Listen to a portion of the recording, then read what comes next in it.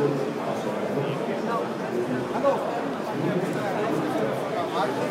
sind hier auf der IFA, kommen als Zuschauer.